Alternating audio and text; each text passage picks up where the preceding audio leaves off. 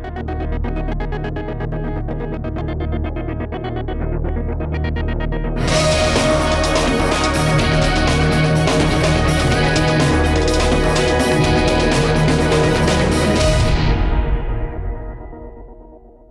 Объект нашего мониторинга – это многопрофильная лечебно-профилактическая больница на 50 мест с комплексом сооружений для дельфинотерапии по проспекту генерала Старикова 211Г.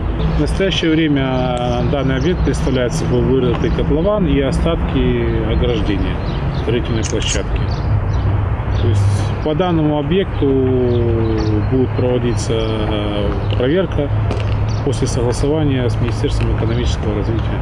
Следующий объект нашего мониторинга – объект строительства многоквартирного жилого дома по проспекту генерала Стрелкова, 168Б. В настоящее время мы видим, что строительство на этого объекта не началось. То есть участок у нас свободен от застройки. Мы пока не проводили работу с подрядчиками. То есть нам э, по результатам этого мониторинга, скорее всего, мы направим э, э, запрос в управление земельного контроля по проверке соблюдения земельного законодательства. Будет принято решение, наверное, уже на уровне правительства о судьбе этого земельного участка. Или будет продолжаться строительство, или земельный участок будет изыматься и предоставляться под какие-то другие нужды.